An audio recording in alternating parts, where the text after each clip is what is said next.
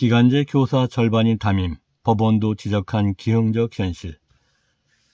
정기 교사와 임금 차별이 부당하다며 기간제 교사 25명이 서울시 경기도를 상대로 낸 손해배상 청구 소송이 대법원의 판단을 구하게 됐다.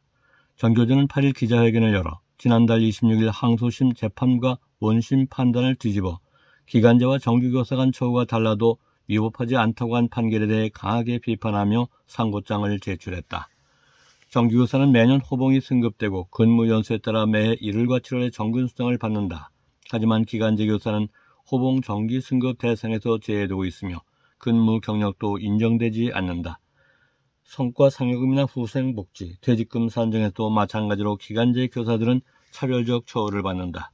지난해 5월 1심 재판부는 이런 처우를 부당하다고 봤지만 2심 재판부는 임용 방법과 기간, 권한과 책임 등에서 차이가 있기 때문에 처우를 달리해도 위법하지 않다고 판단한 것이다.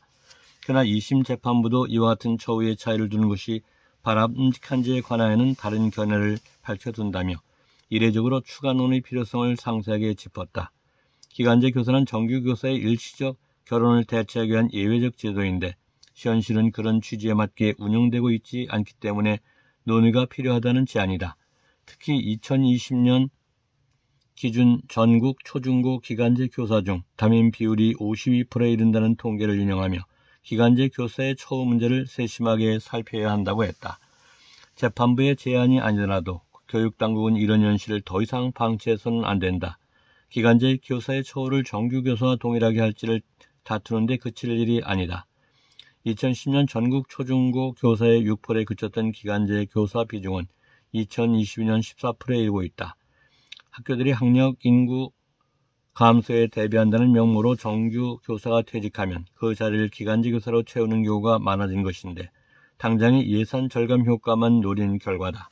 정규 교사들이 기피하는 업무가 기간제 교사에게 떠넘겨지는 일도 다반사다. 기간제 교사는 무거운 감독 업무의 직위에 임용될 수 없지만 담임 물론이고 학교 폭력 사건을 처리하는 부장 보직을 맡기도 한다. 이처럼 학교 현장에서 기간제 교사는 애초 취재하는 전혀 다른 방식으로 운용되고 있다. 교실에서부터 학생들에게 부당한 처를 보고 배우게 할 것인가? 교육당국은 학교 현장의 교육 수요 및 교사 수급 상황을 제대로 점검해 무분별한 기간제 채용을 바로 잡아야 한다.